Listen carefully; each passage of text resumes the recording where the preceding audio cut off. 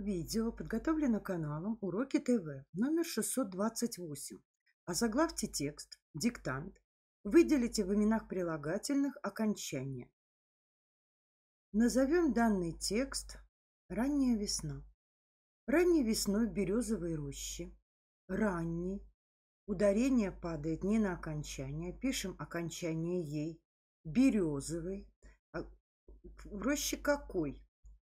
Березовый, ой или ей, весной какой, ранний, ой или ей, в роще, в чем роща, первое склонение, предложенный падеж, окончание «е».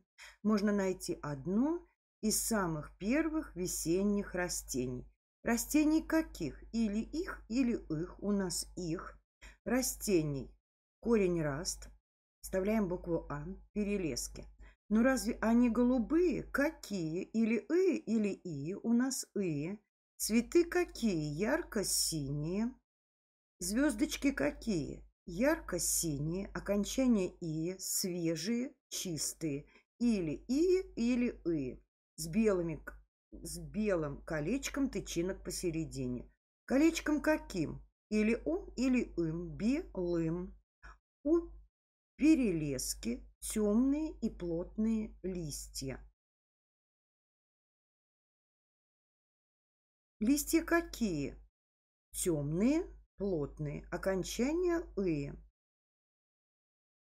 У чего? У перелески получается родительный падеж,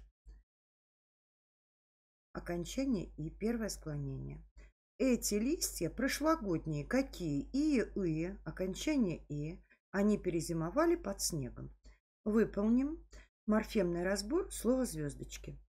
Звездочки, звезда, звездный корень звезд, суффикс очк, окончание и, основа звездочек.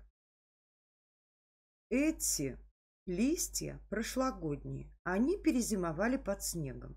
Выполним пунктуационный разбор. Предложение повествовательное, не восклицательное.